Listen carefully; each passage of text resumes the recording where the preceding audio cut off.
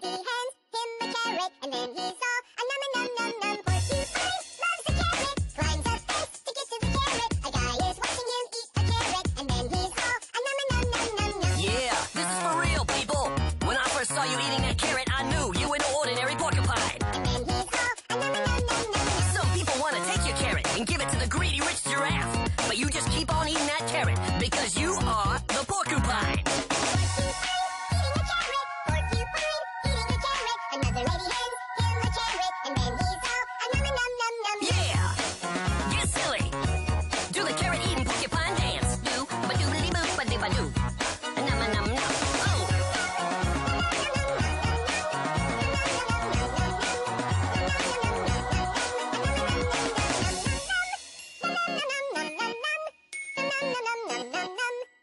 la la